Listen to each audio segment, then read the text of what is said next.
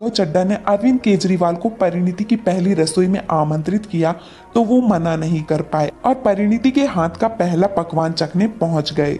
परिणीति चोपड़ा की पहली रसोई का आनंद लेने के लिए राघव चड्डा के राजनीतिक गुरु अरविंद केजरीवाल भी आमंत्रित थे। वो भी आश्चर्यचकित थे कि परिणीति चोपड़ा ने जो डिश बनाई है, वो आज से पहले उन्होंने कभी नहीं चखी थी। अरविंद केजरीवाल भी परिणीति के हाथों का खाना खाकर मंत्र मुग्ध हो गए और उन्होंने तुरंत अपने मैनेजर को कॉल लगाया और परिणीति के लिए एक ऐसा गिफ्ट मंगवाया, जिसे देखकर परिणीति फूली नहीं समाई और उनकी आँखों में आँसू छलक पड़े। केजरीवाल भी राघव चड्डा को बहुत प्यार करते हैं। इसी वजह से उन्होंने चुनाव के वक्त भी राघव चड्डा को उनकी शादी के लिए छुट्टी दी और तो और शादी अटेंड भी की और दोनों नव विवाहित जोड़े को आशीर्वाद भी दिया।